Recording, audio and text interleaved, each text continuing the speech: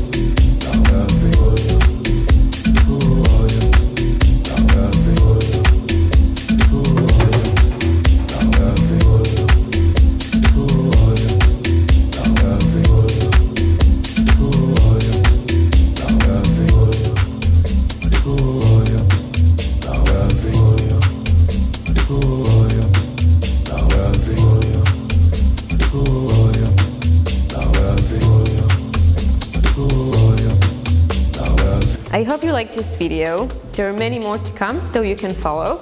And I also started with a really cool newsletter. It's fresh and new, and you can find all the details in the link in the description.